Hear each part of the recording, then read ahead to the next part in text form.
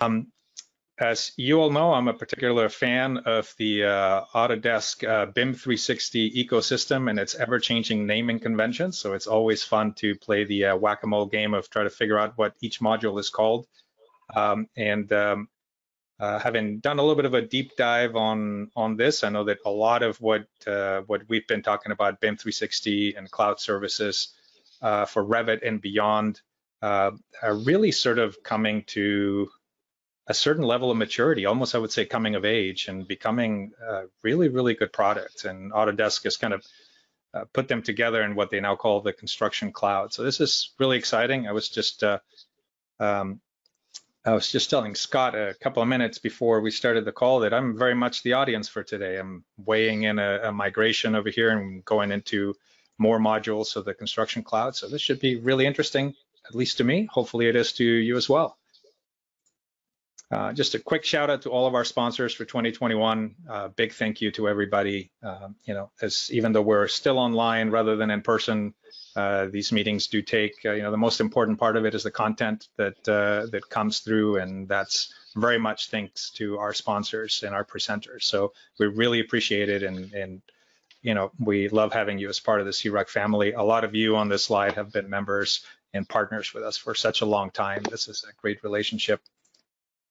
And lastly, a big thank you, of course, as usual, to the rest of the board. You know, we uh, uh, being online maybe makes this a little bit less impactful or less less of a less of a burden on our time, but uh, it's no less important to uh, to continue to steer this group in the in the right direction and to bring the the right content to our members. So thank you very much for all of your participation. Um, We'll record the session as usual, put it up on the uh, YouTube channel. So here's the uh, URL to that. You can always just uh, do a search for SeaRUG on the uh, search bar of YouTube and you'll be able to uh, find past meetings. Not all of them make it up there. Sometimes we have technical issues or uh, a meeting that doesn't record or one where the slides don't come through or something that is missing. But by and large, we we try to have as many of the meetings as we possibly can on the SeaRUG channel. So check it out. And with that, I'm going to go ahead and shut up, mute myself, turn over the screen, and uh, hand it over to Laurie with uh, IMAGINiT, and uh, her and Scott will take us through the construction cloud. So thank you very much again, IMAGINiT, and uh, take it away, Laurie. Great. Thank you so much, David. And thank you everyone for taking the time to join us today. My name is Lori and I'm the marketing specialist here at IMAGINiT Technologies, and I'll be your host for today's session uh, with Mr. Burke. So before we get started, as David mentioned, today's session is being recorded and David will have access to that recording shortly after today's event. The session will run about 50 minutes and we'll take Q&A at the end of the presentation. So please feel free to type your questions throughout the presentation into the Q&A panel and I'll read them um, to Scott when we're done. We do have a chat um, uh, tag as well. Um, I'm going to try to find anything we have on our website in regards to Autodesk Cloud Maybe we've got PDFs, I'm not sure, but if I can find them, that's where I'll post them and I'll let you know that they're there. So with that, Welcome everyone to the Autodesk Construction Cloud webinar with our IMAGINiT AEC Cloud Services Program Manager, Scott Burke. Scott, the floor is yours. Okay, thank you, Laurie. So confirm you can see my screen there? Yes. Okay, great, so we can get started. So again, today's topic, of course, is the Autodesk Construction Cloud. So brief introductions here. Again, my name is Scott Burke. I'm the AEC Cloud Solutions Program Manager here at IMAGINiT. So I work with our technical teams in relation to all the Autodesk Cloud solutions, primarily in the BIM 360 and the Unify platforms. So again, that's what we're talking about today, kind of a little bit about the construction cloud, the unified versus the BIM 360 platform, and then the main modules um, of the kind of key premier tools within those environments. So again, you know, what is the Autodesk Construction Cloud? So first of all, this is not a new term. This term has actually been around, I think, well over a year, if not a little bit more than that. And the Autodesk Construction Cloud is really just all of the Autodesk cloud solutions that deal with design and construction and even um, facilities management now. So that's just an overarching term. It's not new. I hate when people say, hey, the new ACC. Well, it's not new. It's been around a while. It's the tools within it that are new. So we have that overarching Autodesk Construction Cloud in that. And within that, Autodesk had originally purchased, and they had had BIM 360, which was homegrown. That's something they built in, um, themselves. Then they eventually acquired Assemble Systems and eBuilder, I think it's called there, um, Building Connected, I meant to say, and um, and PlanGrid over the years.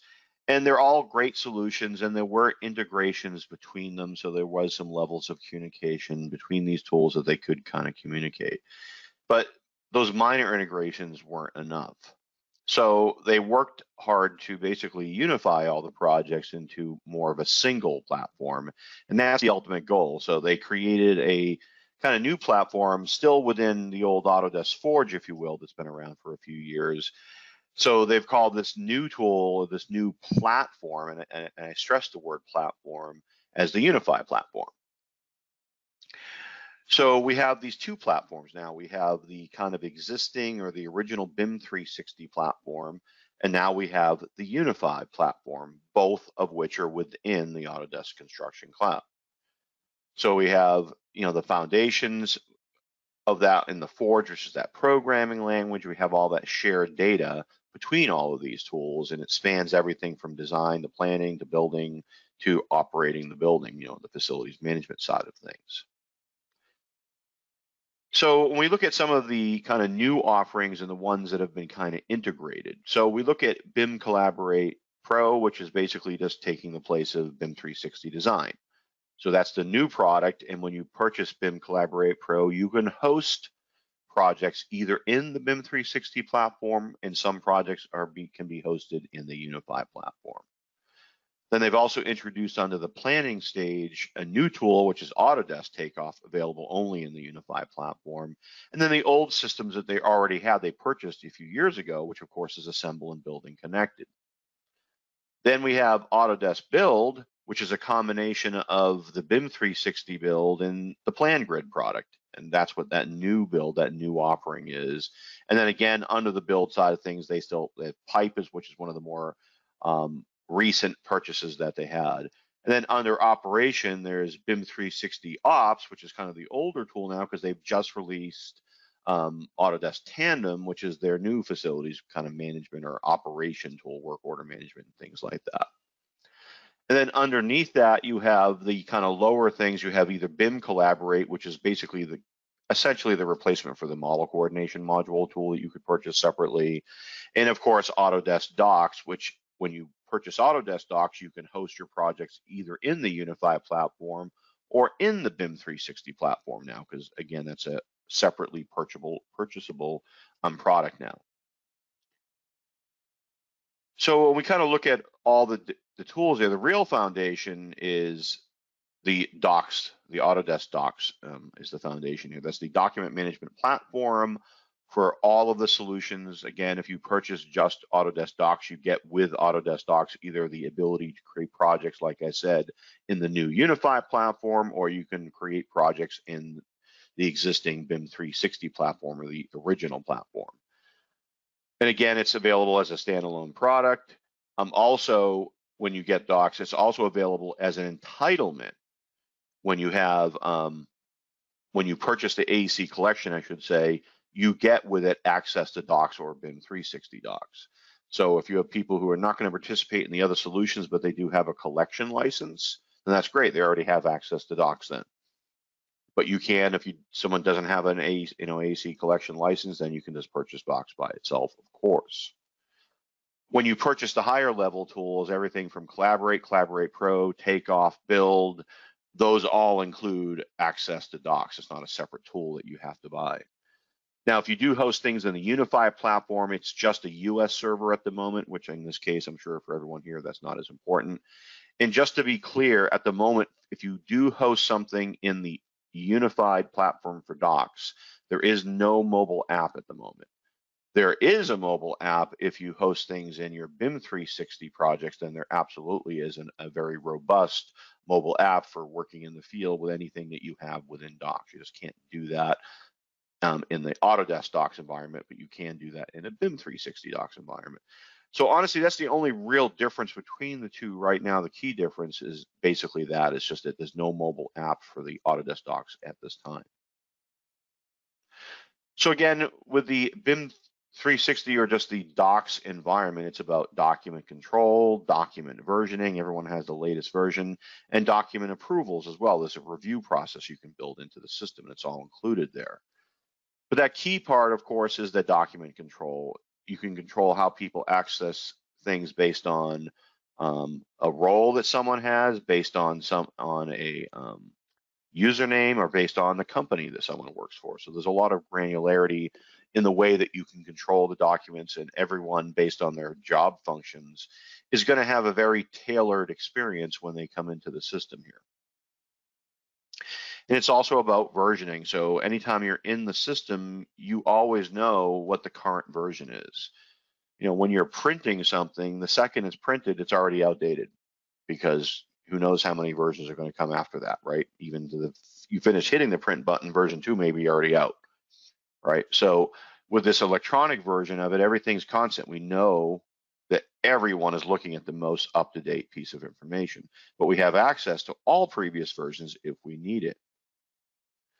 And as I mentioned before, there's a document approval workflow, so we can take a document or groups of documents and put them through a process where they have to go through different individuals to review it. And then the reviewed documents can be either be approved in place and is listed as approved or even copied into a folder that's full of approved documents. And that has people have limited access to the live documents, but they have full access to the finished or the approved documents folder. So if I jump into Docs here, I'm in Docs right now, in this case, in the Unify platform. And obviously I can come up here and I can very easily search for any program, any other project.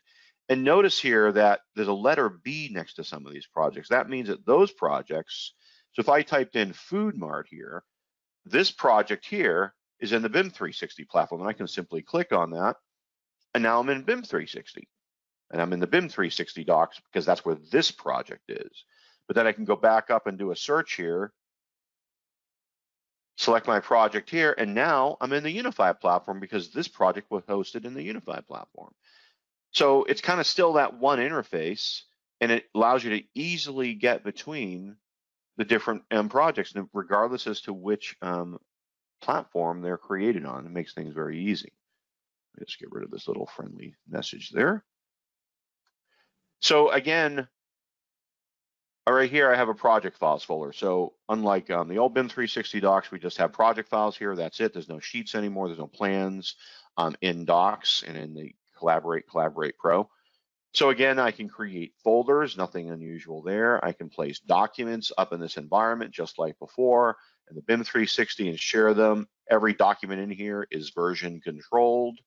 See, that's version four of this document, version one of that document. I have access to all previous versions of the document. You can download them or make them current. Or if I'm viewing a document right here and I'm in the fourth version of that document, I can come up here and say, oh, I'd like to see the first version of the document. And now I'm in the first version of the document.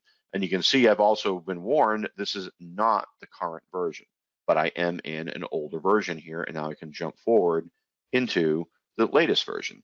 And note that this is a Word file, yet I can view it. I can view Word, PowerPoint, Excel. I don't need the authoring application anymore. That was always the issue. When you put files in these document management tools, the only way to view them is to download them in many cases. Well, the key with the Autodesk um, or Autodesk Docs here is that there's 50 different formats it can directly view. From PDFs to docs, I could open up a Navisworks file. I have a schedule document here. I can go into the Excel file and view it. I have the different tabs within the Excel document, of course, right here. So I have access to all of that. So it's a full functional multi-model viewer, if you will, for lack of a better terms. I can come up here and look at my design models and I could pull out you know, PDF plans or I could pull out AutoCAD plans if that's what I want, AutoCAD files, and I can view an AutoCAD file here. Here's the AutoCAD file. And I have full access to that.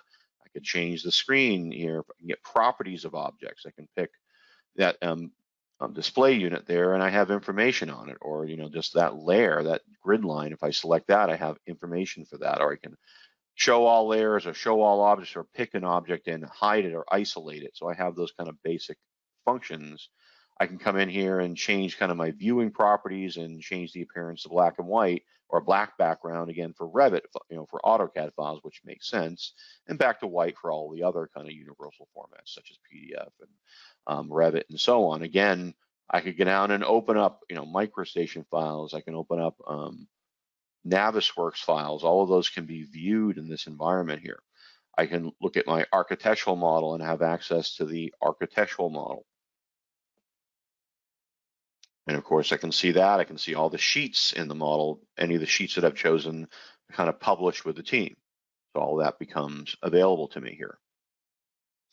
As you can see, I have markup capabilities all within this environment. I have issue tracking capabilities. Again, all with just docs.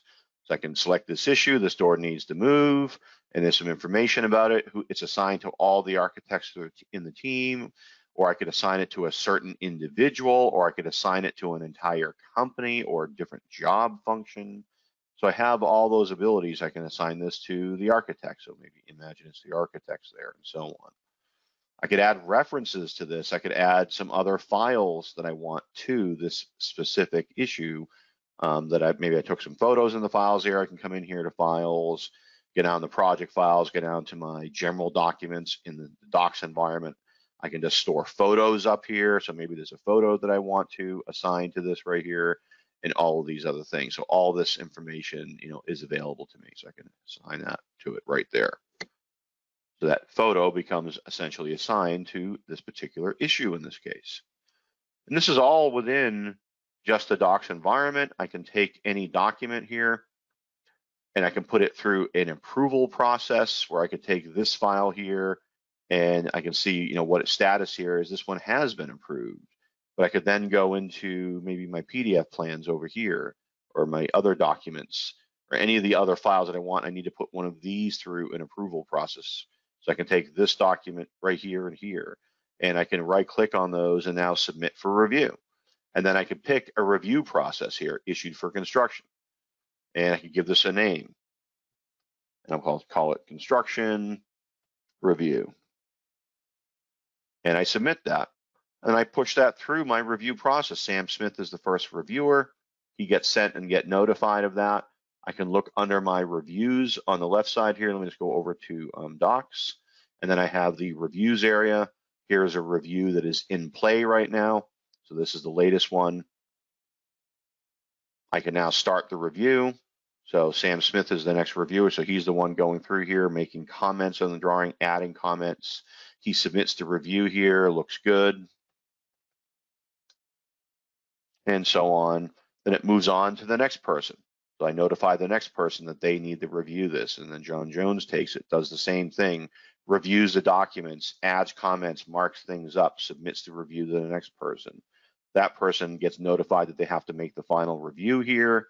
So now they're going to start the review where they're doing the final review they've read all the comments from everyone and they're just going to mark all these documents here as approved or maybe this one's approved with comments and submit the review and now it's done. So now these documents have gone through a custom workflow. You can set up as many steps as you want and whomever participates in that. And in some cases, based on what the what this review does, it may actually take these documents and copy them into another folder, which is the approved for construction folder in this case. So it's completing the review right now, if I went back to the actual location of these files, and I look at the review status, you know, of those particular files here, so under PDF plans there, I can come over and I can see right here that this has been approved, approved, and this one has been approved, but with comments. So again, very powerful tool for controlling, you know, that the documents have been reviewed properly, they've gone through the proper channels and all of those things. So again, really powerful tool there. And it's all just part of docs. And again, we have strict permission controls. I can take a look at a folder here, go to permissions for that folder, and I have very finite control over who can access this. So I have project administrators in here of full access, and then I can add access to project managers. So anyone who's listed as a project manager, I can pick that role out of the list and then give that project manager view, download, and publish markup options and add them in as that kind of control there. So you see it's now role-based, or I could add a company, and anyone that belongs to a company has certain levels of access. So again, managing all this and controlling what people's experience are in here is again very easy. Oops, so let's move on to the right presentation. There we go. So now we talk, take a look at the tools that, uh, um, the collaborate tools, I should say, right? So we have BIM Collaborate and BIM Collaborate Pro. So essentially, BIM Collaborate has taken the place of the model coordination that used to be able to purchase separately. So BIM Collaborate includes model coordination. Of course, it includes docs, but what it also includes is the visibility into the package release tool that the BIM Collaborate Pro uses. So a project manager who doesn't need Collaborate Pro because he's not editing a Revit model management, the model viewer, aggregated model views, the project timeline, um, the visual change management, automatic clash detection, issue management, including Revit and Navisworks and things like that and reports. So all of that is built into Collaborate. So again, it's great for the BIM managers and BIM coordinators who may not be directly editing the models, you know, kind of in the cloud there, but managing the process, managing the project. Whereas if we go to BIM Collaborate Pro, the only thing that that really adds is the work sharing ability. So that's the only real addition. When you get into Pro, it means that you can cloud work share with Revit, Civil 3D, or Plant 3D, and you can also um, be location independent work sharing, right, with authoring tools. So anywhere where your laptop and Revit is, you can get to your model as long as you have Wi-Fi. It can be at home, it can be in the office, the job site, trailer, Starbucks, whatever, and I'm able to go ahead and access my model and work on it like I was sitting in the office on a local server. That's the key here. That's what the whole point of the Collaborate Pro is, is to be able to not only share everything with everyone, to be able to work from anywhere. So again, I can collaborate anytime, anywhere. And again, I'm saving lots of time because I don't have model update day anymore per se, where everyone has to take their files and manually upload them into the cloud and do and distribute them that way, right? I have a much more automated way of performing those same types of functions. And that's the key here that both the Collaborate and Collaborate Pro users will have access to this page, which is the managed collaboration or just the actual design collaboration page within the web-based interface. Previously, those who had model coordination did not have access to this. They do now. So that's why when I look at um, BIM Collaborate, that is a project manager tool where BIM Collaborate Pro is the user or the editor of the Revit model tool. That's really the key difference between the two. So when we look at the interface here, everyone, project managers, collaborate users, collaborate pro users can all get access, of course, to the document level here. Then what I've done is I've created a design models folder and I have my architectural team, a civil team, an MEP team, a structural team. They're all working within their own folders and only have access to their folder. The civil engineer can't see the architectural folder or the MEP team engineer can't see the structural or the architectural folders within this environment because those are working areas reserved for those, but they can see the design collaboration page. So now I have all my teams listed here. So I have my MEP team, structural team, and architectural team. Civil is not here because this tool is only for Revit in this case. I have the different releases that the various teams have made to the other teams. So I see the architect had a 50% review, a 75% review, and a 50% review. So in essence, the architect has only shared their model three times with the team. So there's only three versions available of the model to the structural and MEP team. They don't work on live models. You work on a controlled release cycle, just like you kind of do now with an FTP or Dropbox site, but all within this environment. You're still working and storing your models in the cloud, but as each design team gets to a certain milestone event, they will release their drawing like this 50% drawing or this 100% drawing right here.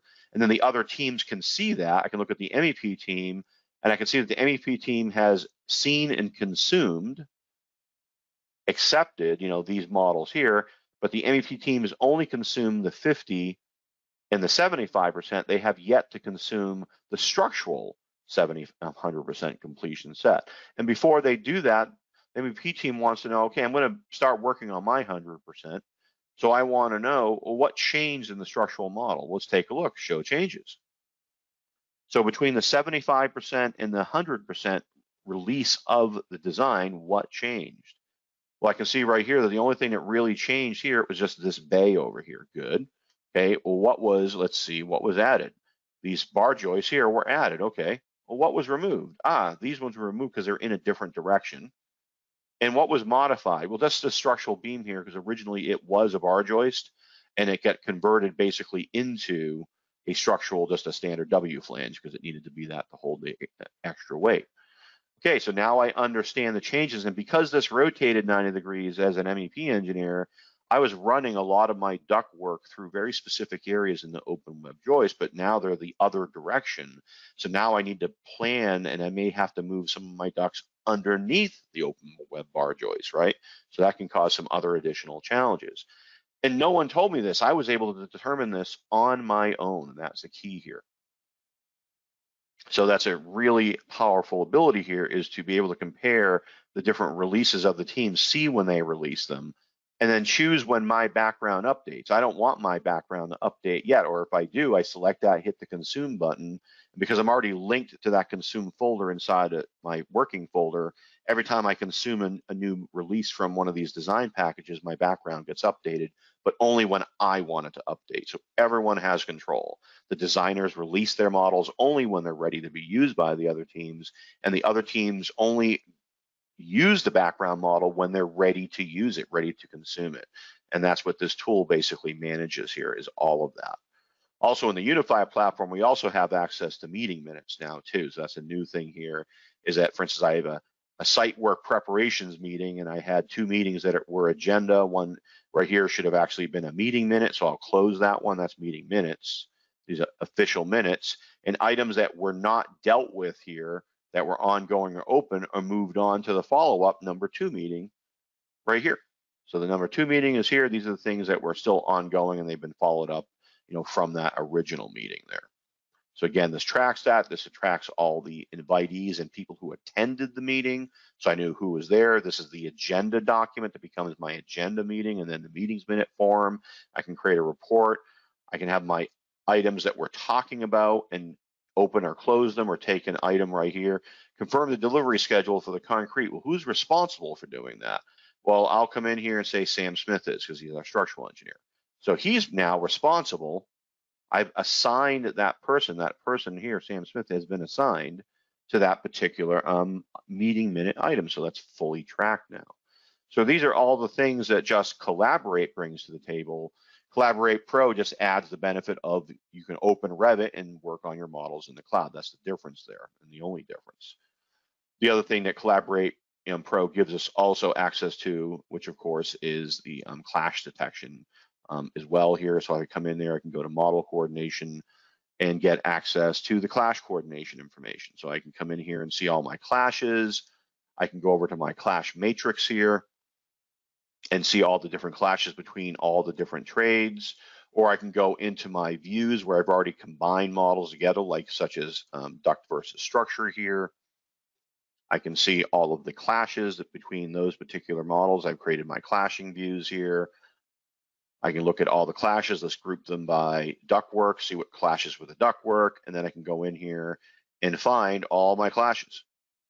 And once I found that clash, I can create basically an issue from that and assign that clash to someone. If I look over here, these are clashes that have already been assigned to different individuals. So this is issue number 38.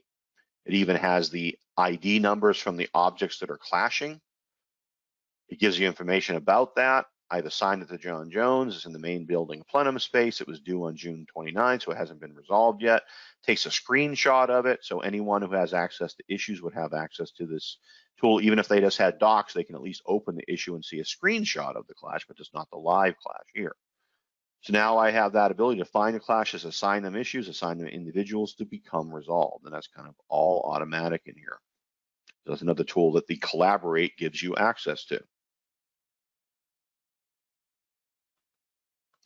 Forward here, there we go. So that's really what BIM Collaborate and BIM Collaborate Pro gives you.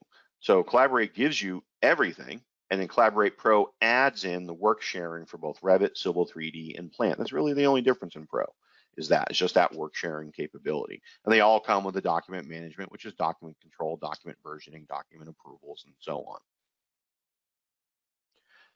So then the next product is Autodesk Build, which of course was built also in the unified platform. So there's still two products out there. There is BIM 360 Build, which is a completely different product than Autodesk Build. So just remember they are two separate products. They have a lot of overlap, but there are more abilities and things being built into Autodesk Build. And that is, of course, the future moving product. That's the one that's going moving forward here. So with Autodesk Build, of course, we get document management. It comes with cost management, which is for managing budget creation and change orders and payment application and cost forecasting. It is not an accounting tool, but it is an absolute tool for the this side of things, the management of the costs on the project. Um, again, primarily the change order tracking and is making sure we're staying on budget there. Then, of course, is the project management, which is RFI submittals, meeting minutes, daily reports. There's quality control, which is your punch lists, things like that, issue management. And then safety, which really comes into issues too, safety issues, safety planning, tracking, observations, inspections. And then project closeout is really the asset tracking that's inside of um, Autodesk Build for just managing all your commissioning and information that you need to hand over all the information about the HVAC equipment to the owner at the end of a project, right? Those are the types of things you do a project closeout and all the documentation. So again, it, this is configurable project management within Build. So we, again, we have, you know, those RFI submittals, meeting minutes, daily reports. So we have the RFI management tool here where you control the different roles that people play within the review process. You have the submittal process where you manage as a general contractor. And again, this submittal tool is from the viewpoint of a general contractor. It doesn't really fit anyone else. This is not something I would recommend to an architect or someone who simply participates in the submittal workflow. This is a very powerful submittal workflow, but it's meant to be managed from by a GC. So that's who this fits. Meeting minutes, of course, we've already covered the same thing there. And then we have the ability to do just daily reports. And again, everything in Build now. So Autodesk Build has the mobile equivalent, the mobile app for that. So that can be done on your phone, that can be done on your tablet devices and so on. So everything in the build environment is fully mobile. It's just the Collaborate, Collaborate Pro and Docs that's not mobile at the moment. So if you have obviously um, build, then you're working in the field because that's really where you do most of the work. Most of build is really being used in the field, although significant portions, of course, are still on the PC side. But this is where you're out in the field doing your daily report, work log, who was on site, the name of the people, equipment, the weather today, because all of those things are important factors. Then we have, you know, proactive quality management here. So again, this really comes into the checklist, the forms, things like that. So you can build your own um, checklists, your own templates that you then use on future and current projects. And you have qual you know, quality control punch lists. We have quality assurance and making sure that there's lots of issues, we can track those and so on there. We have, of course, issue management, which is universal across the system, but you're walking around, you see a problem, create an issue on the document, take some supporting photos if you're on site, and then assign that issue to someone to be resolved. And so you have a very powerful issue management tool for seeing the clashes, anything that you create an issue about, you have access to that in the field and create them in the field on the fly, on the document, self-contained issues that are not related to a plan, but just some other issue and so on. And of course, that's really punch lists feed into the quality control as well. You go into your rooms, make sure the rooms are punched out at the end of the project, you know, make sure the rooms are ready for delivery to the client, your, your handover checklist, whatever that may be. So when we jump back into the product here, we can go, again, we're all in one project from design. And then if it's a your design build organization, you have it all in one place, one project. Now I'm going to move over to build.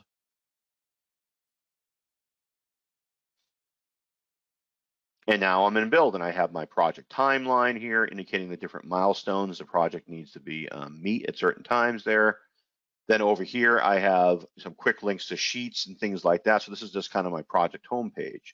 Then I have my sheets.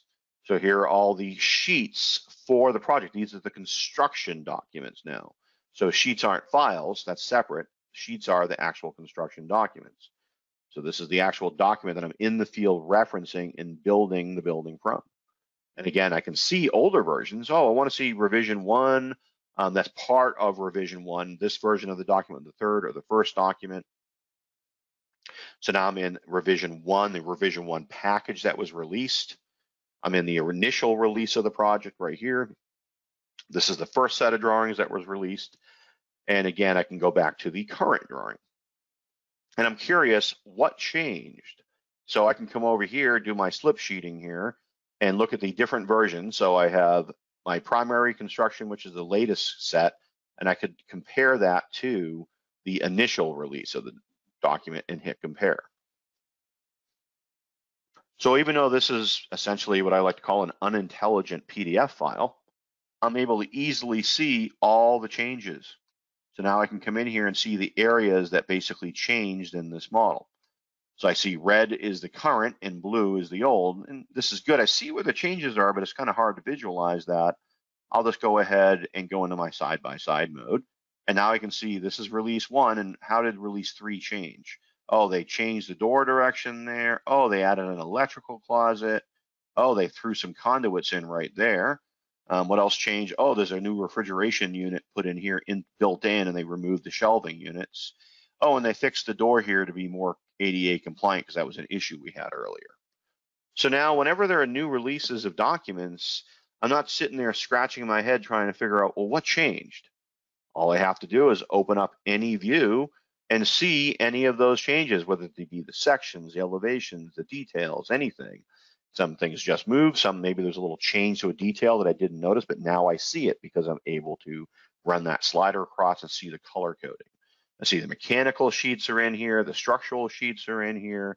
So I have full access basically to all the construction documents and they're all version control and I all know that they're up to date.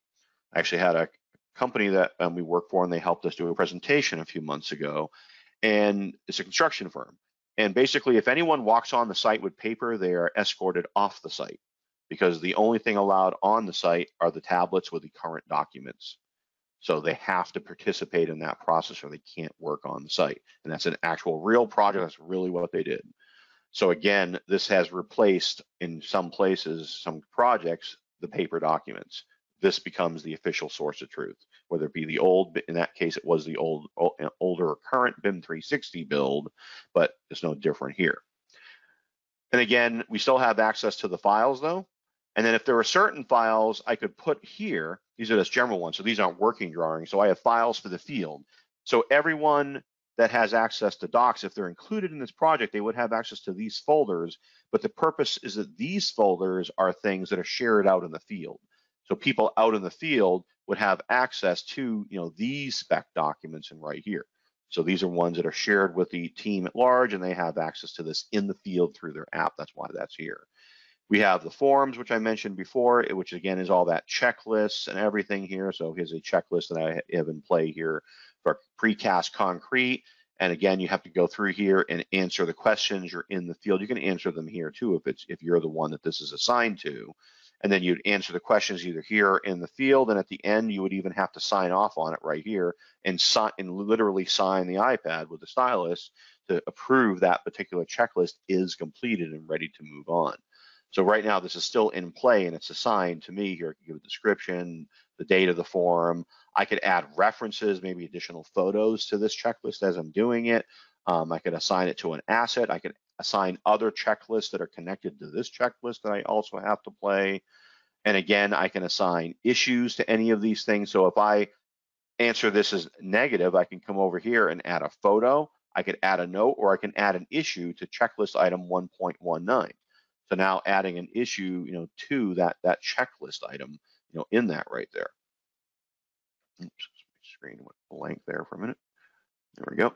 So again, whenever I'm in those forms, I can assign issues when there's a negative response. I create an issue to make sure that that negative response is dealt with. Or I might have a daily report. Here's my here's my weather that day. Um, the HVAC crew was on site and they had five people worked all day. They added um, air handling unit number one is what they actually installed. I might have some materials or equipment. I've signed off on the daily report, some notes, some photos, all of those things are added here. And then of course I can create printed PDF reports of these um, when I'm completed with them. So again, I might have my own forms, like I have a timesheet right here. I have my own PDF form that I'd like to keep in the system. I just want people to fill it out virtually.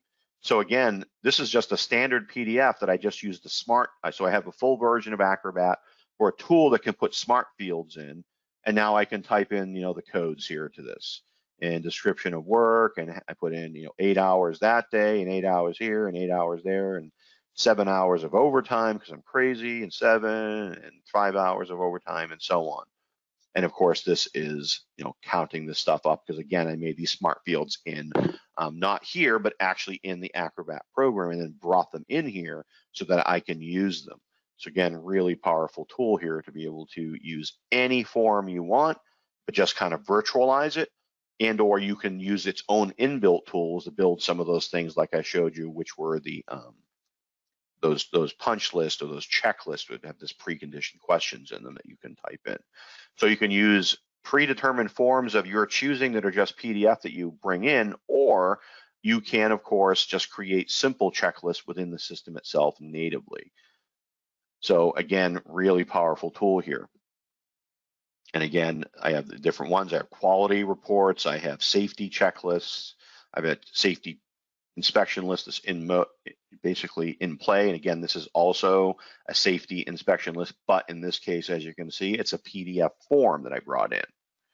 Now it's smart enough to fill out some of the things for you, like it'll put the date in, it will put in the project name, so you can build in some of those variables into these forms. Again, pretty powerful has a, although I didn't mention it really in any, any of my slides, a very robust photo management tool. So every photo you take, no matter what it's attached to, is automatically listed here from clashes to issues to RFIs, all of those things. I can sort them by photos of different types, meaning photos, videos, or 360 photos, um, photos that are referenced from issues. So all these photos here are photos that came from the various issues I had in the project or I can come in here and say, only show me ones that are from RFIs or from submittals or so on.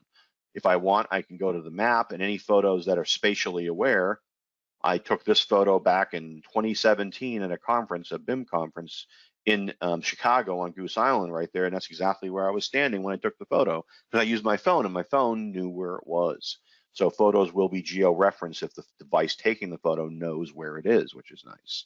Again, I have the RFIs here where I'm going in and processing the RFIs, where I go in and I set my RFI workflow, a single cre a creator and one manager and one reviewer or two reviewers, and then I designate under advanced settings, you know, if I want, if I can open the RFIs and close them, I can go to permissions to control um, who can be the, take on the different workflows here. So who's a creator? Everyone can create an RFI who is a reviewer. John Jones is a reviewer and Sam Smith is an available reviewer and Scott Burke here is the manager of the RFI process as a whole. And that kind of works the same in the submittals here, where we have a very distinct process here. We have all the submittals that are either in a required state or already closed and answered. We have the submittal packages if we want to group things together. We have all the spec sections that we'd be using in the project. We would just come in here and designate the permissions, meaning who is the one that manages the submit the submittal process. It might be one person, it could be several people. That's really up to you. You have different response types. Approved would be approved, approved is noted for record only. There'd be a revise and resubmit. There'd be a rejected type of comment, and you can have different responses under these three categories of, you know, this is what a, a um, submittal can be. It can either be approved, revised and resubmit, or rejected, but you can modify what the term is instead of revise and resubmit, it could be resubmit and revise or whatever terminology you, you so chose to use. So it gives you a lot of flexibility there. But again, the best way to really understand this, if I go under the submittal tool right here, you can just see the overview and how it kind of works here, right? So on the top of a submittal, you'll see what stage you're in. It gets highlighted. So this is a submitted stage. This stage right now, the submittal is in prepared for review, then it's in review, and then it's closed and distributed. And here's the workflow. So a responsible contractor or a manager can create an item, assign it to the contractor. The contractor can create, add their attachments, submit it to the manager, it goes through the review process, creates the official response, and either creates a revision and then it becomes a re revision two of the submittal, or it gets closed, approved, and distributed, and then everyone in the project would then have access to the closed and distributed submittals here. Like this one is looking for information on acoustical ceiling tile. Here are the cut sheets. Here is the activity on the submittal and all the people it went through, and this has become the official response. Whereas if I go back and look at another submittal that's waiting for a submission, it's in the submit stage and it's waiting for someone to actually submit it for review. So that's the stage that this submittal is in. And then kind of one of the last parts here is the assets. So this, of course, allows you to manage all the things in a project that you want to manage. And I'll talk about this a little bit later. This is more about kind of the handover side of things. So I'll talk about that a little bit here later, but I just wanted to go through those other things. So again, that's that same with that safety management here too, right? That was all those checklists and everything. You have safety checklists that you go through, inspections, punch lists.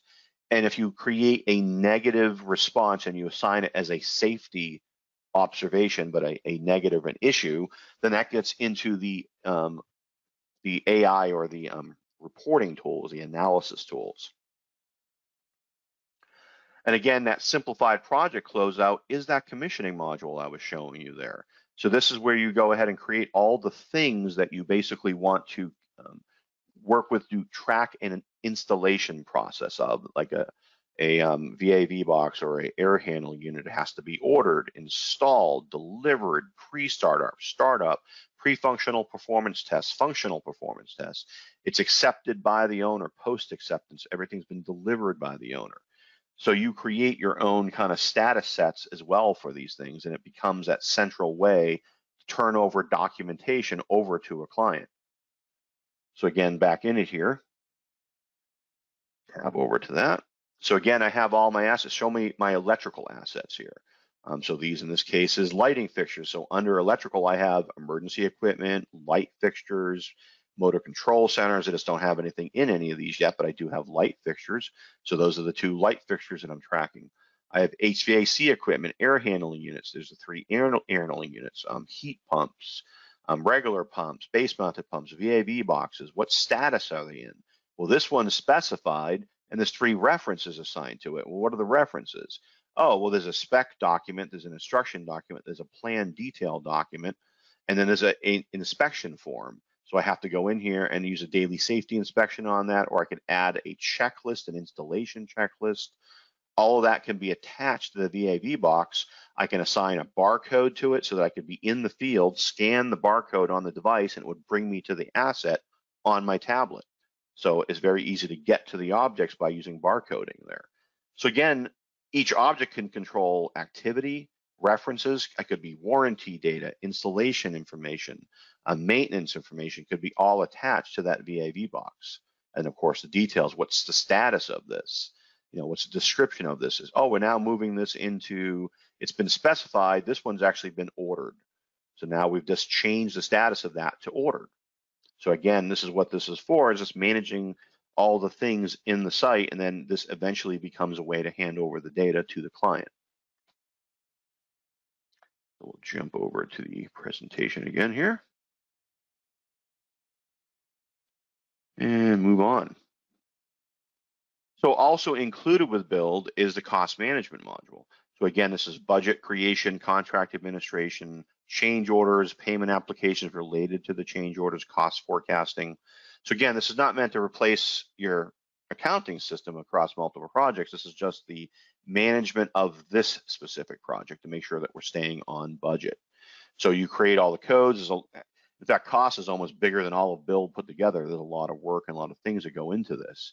But again, it's for managing the cost items, potential change orders, requests for quotes, um, owner change orders, supplier change orders, all those things. And you can define the fields, any of those things to customize your recent needs, payment application, e-signatures, all that stuff can go through this whole system using your own specified forms that you'd upload into the system. And again, cost forecasting, making sure we're, you know, the cost is known, budget changes are understood and accounted for, and so on there. So I'm not an expert on costs. I would need someone else to be a two-hour presentation just on cost by itself there. But again, when you have access to build, you actually have access to the cost module.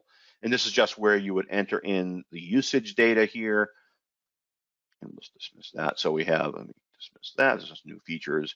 So we have all that data that you would enter in here, your main contract information, your budget payment applications, um, managing the change order, the change orders here, request for quotation there, um, requests for a change order and so on will all be managed through the system. And you still have access to files and then also specific reports that are related to um, cost reports, what you would have, of course, access to.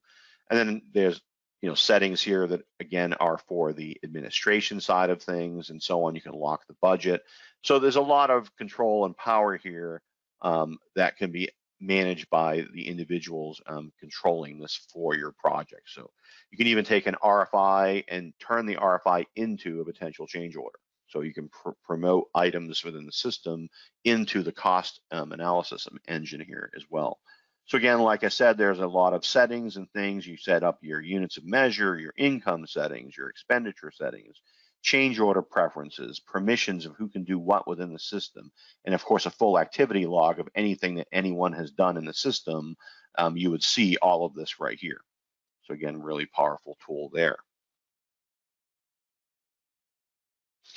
And then the last part of the build side of things is really um, the insights here, the dashboards that we can have, the reporting that we can do that can be scheduled, um, the data connector where we can take raw data from all our projects and using other tools like Power BI or even Excel, I can pull this information in and do my own analysis beyond the kind of built-in reporting that's already in the system and it uses the construction IQ for risk assessment on our projects to make sure there's no excessive risk in any areas of our projects. So that's also a very important part of this, using machine learning and AI to understand that risk on your projects. So when I'm in my project here and I go over to, in this case, Insight,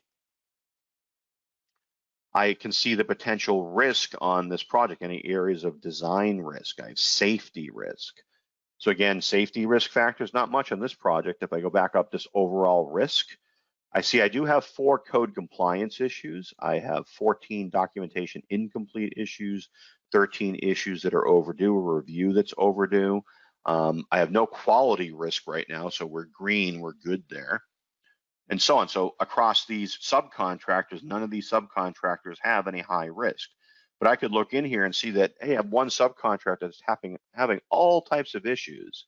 And that would be high risk for that subcontractor. Maybe I don't use them on a future job, or maybe I dive in to why, why they're having issues. And maybe the issues aren't their fault. There are other things that are causing them delays. But again, this will help me determine that. That's the whole point of all of this. So I have all these design cards here. They're all pre-baked and you can turn the ones on or off you don't want, of course. Um, you just can't edit these, although you can edit their locations and positions on the screen. I have you know my different categories of safety risk, quality risk, design risk. So do I have any design risk on this project? Again, I have design issues by company, design issue trends, design issue status, open versus closed, and so on there. So again, a lot of good analysis here to make sure your projects are staying healthy. I have an executive overview dashboard where I can see risk across all projects across the country. So wherever my projects are, I can see and get kind of a heat map here of all the risk, you know, on any of these projects and they're scattered across the country here. And I see I have this project here has medium risk, the rest of these are low risk, and the rest of these projects are too new to have any risk on them at the moment. And I have 261 active projects. And now I can see cost reports across all projects. So I have some projects in here that already have been established. And I can see original and projected budgets, how much things have changed, expenditure variances. I have design risk across all my projects here and which projects are having the most types of design risk and issues and so on. Quality issues for my construction projects, safety issues for my construction projects, all that information is available to me here.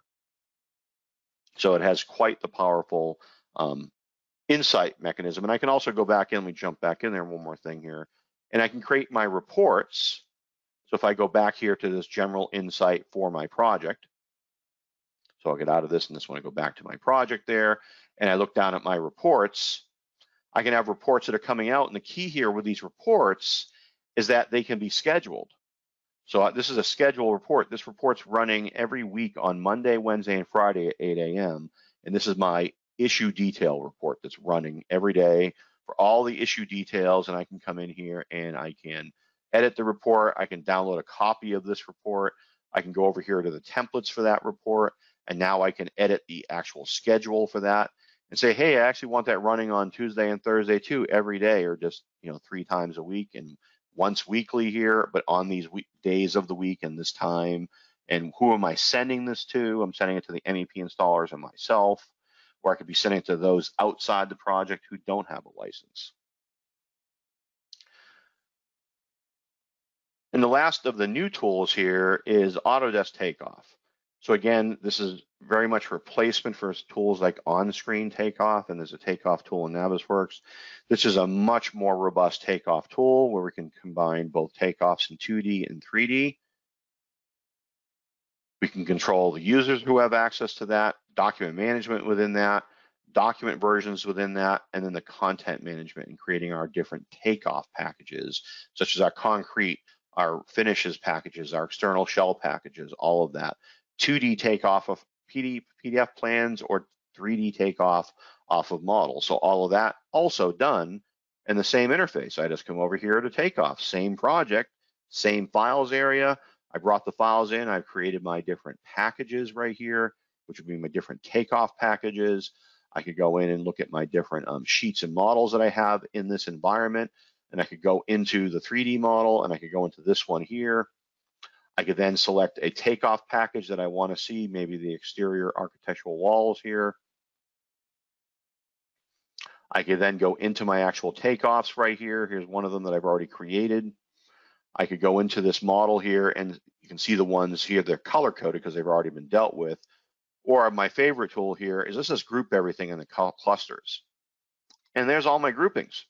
So now I have all my walls I can do takeoffs on. I have all my specialty equipment I can do takeoffs on, casework, curtain wall mullions, anything that I want to create a takeoff on. It just organized them into different groups here, generic models, lighting fixtures, here's all the light fixtures. And now I can create a different takeoff type here and basically assign that. I can expand that one just to look inside. These are all the walls and our exterior walls.